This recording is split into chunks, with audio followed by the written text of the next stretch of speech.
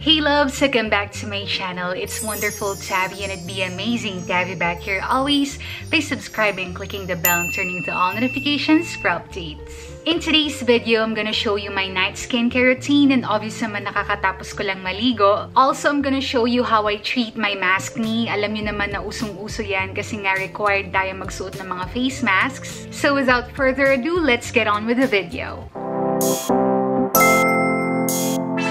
Alright, so since tapos na nga ako maligo, syempre nakapag-cleanse rin ako ng face. So for my cleanser, ang ginamit ko is yung Lactacid Baby Bath. And I have been using this product ever since nag-start ako mag-skincare. And until now, ito pa rin yung ginagamit kong cleanser. Super mild and gentle lang din kasi nito sa skin, kaya favorite na favorite ko siya. So the way I use it, magpapatak lang ako ng mga one drop dito sa palm ko and then directly ko siyang ina-apply sa face ko. Hindi ko na siya dinadilute. Then I just gently massage it onto my face and then rinse it off. Tapos tapos ayun, instant baby smooth na yung face ko. And before I forget, I also use this cleanser to wash my face masks and you might want to try that too sa mga cleansers nyo. Kasi ako masyado akong natatapangan sa mga detergents and para nagkaka-skin irritation ako kapag ka nilalaban ko siya yung gamit yung mga detergents. So, na-figure out ko na parang mas okay na cleanser na lang yung panglaba ko sa mga face masks. And okay naman siya so far.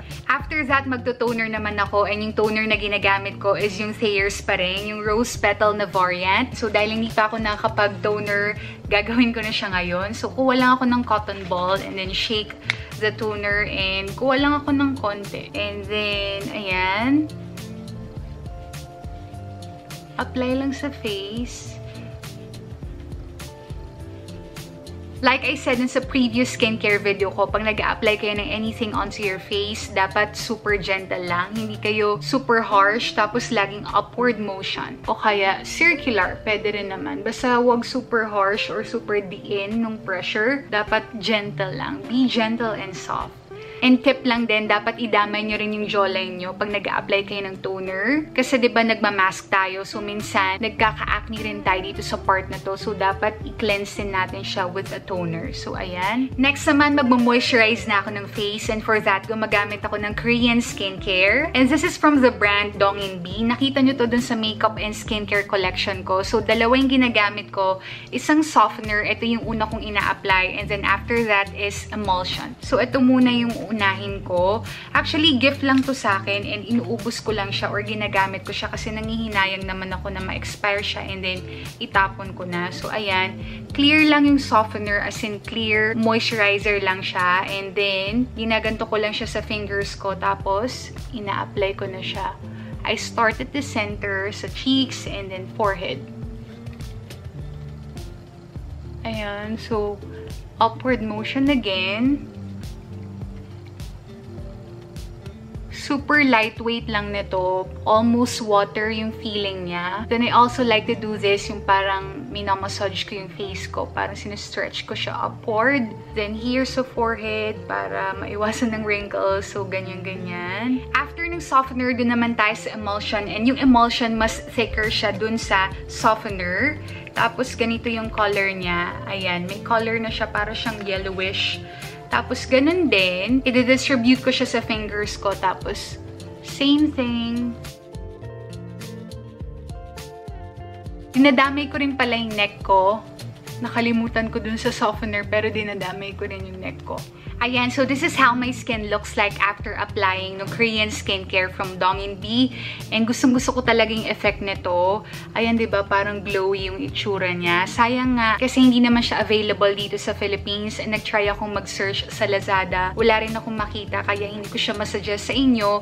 Pero, syempre may mai-recommend pa rin ako sa inyo na available dito sa atin. For the moisturizer, I highly recommend yung Celatec Hydration Facial Moisturizer. Ito, isa rin to sa mga holy holy grails ko when it comes to my skincare. And I think ito yung first ever moisturizer na na-try ko. And super perfect nito for all skin types, even sensitive skin. Kasi super mild and gentle lang din niya. And ito rin talaga yung moisturizer na ma-recommend ko sa inyo if you want to prevent maskne. Kasi syempre, nag-search din ako about maskne and I learned that according to dermatologist Angeline Yong, the constant rubbing of the masks against our skin causes micro tears, allowing easier entry for bacteria and dirt to clog up up our pores. And Dr. Young suggested to avoid thick, occlusive skincare creams kasi nga pag nakamask tayo, nagka-create tayo ng moist through our breathing. And that moist can lead to the buildup of sweat, oil, and bacteria. Kaya naman I highly recommend this moisturizer kasi nga super lightweight and hindi rin siya thick. And since night skincare routine naman yung ginagawa ko ngayon, syempre hindi na ako magsa-sunscreen. Pero if ever you're going out on a day, yung mga ma-recommend ko sa inyong sunscreen sa super lightweight and hindi rin thick yung formula is itong Lux Organics Aqua Daily Sunscreen and itong Fresh Skin Lab na 98%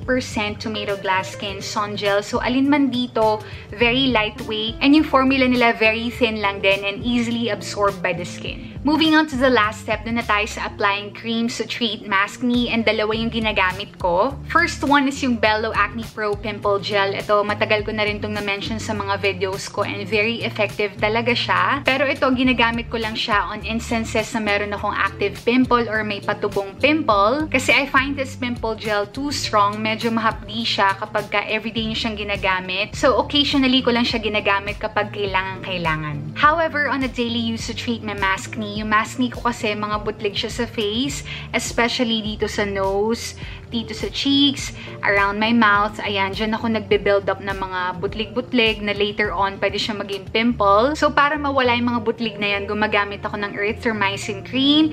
And ito yung ginagamit ko. And actually, I'm selling this. So, if you're interested, just DM me on my Instagram. Ayan, so ipapakita ko sa inyo paano ko siya ina-apply. Ganito yung itsura niya. Color white lang siya. And kitang-kita nyo naman na gamit na gamit siya. And actually, I've gone many of these already.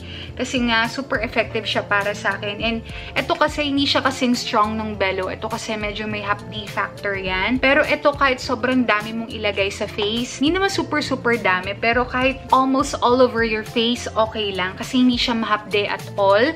And yung erythromycin is good for killing bacteria that can cause acne and it can also reduce inflammation. So kung feeling nyo parang ang red-red na mga butlig, ayun, pwede nyo applyan ng erythromycin cream and magsusubside yung redness. Also, it's gonna help clear your acne spots. So the way I use this, kumukuha lang ako ng Q-tip or a cotton bud, tapos nagsuscoop lang ako.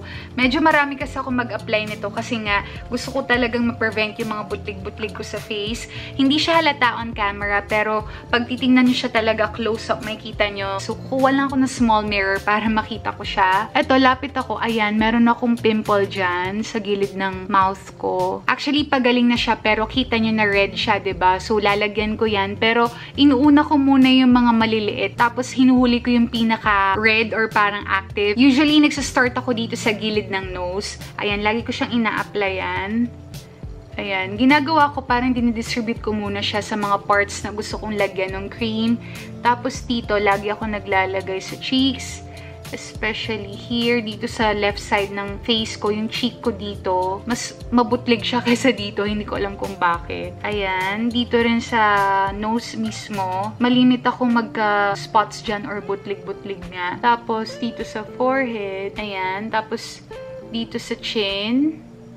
Tapos, sinespread ko lang siya dito sa jaw parang ibe-blend ko siya or ano bang tawag doon? Hindi siya blend. Basta parang i-distribute nyo siya. Ayan, parang imimix nyo siya sa face nyo. Hindi ko alam yung term pero ganyan. Yung ginagawa ko ngayon. Kita nyo, ba diba? Parang ang dami kong nilagay. Pero hindi talaga siya mahapdi at all. Kung sa Bello Acne Pro ko gagawin to, super hapdi niya talaga kasi parang matapang talaga yung pimple gel na yon. Kaya ginagamit ko lang siya sa super active na pimple. Like, parang cystic acne. Pero pag hindi naman, yung mga butlig-butlig lang, okay na tong erythromycin niacin cream. Kaya mas magastos ako dito. Mas marami akong nabibiling ganito. Ito nga parang pangalawang tube ko pa lang to. Ever since na-try ko siya. Ito super dami na hindi ko na mabilang. After nun, kukuha ulit ako ng cream. Pero this time, dun sa kabilang side na ng Q-tip or cotton bud, never, never yung i-dip back yung nagamit nyo ng Q-tip dito. Especially if na-distribute nyo na siya sa face nyo or na lapat nyo na siya sa face nyo. So, para hindi ma-contaminate ng any bacteria yung cream nyo, wag na wag yung gagawin yun. So, dapat dapat clean lagi. Ayan, this one is the clean side of the Q-tip. Kukuha ulit ako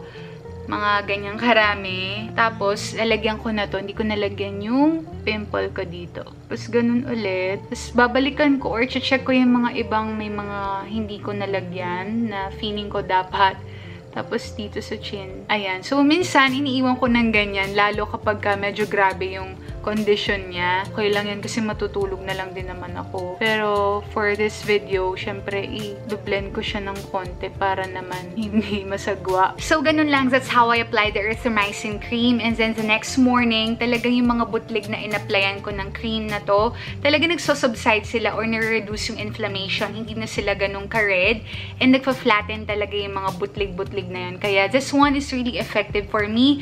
Kaya if you wanna try, just DM me on Instagram and then I'll let you know the details. And that's it for my night skincare routine. So hopefully, meron kayong natutunan in this video, lalo na sa pag-treat ng mask me. As always, if you like today's video, don't forget to hit the thumbs up button. Check me out on my socials at Instagram, I'm WendyXTN, and Twitter at WenderWoman. And before clicking out, I post two videos every Friday and Sunday, so make sure to subscribe and ring the bell to get notified. Thank you, loves, for watching. I'll talk to you soon. Love, WendyXTN.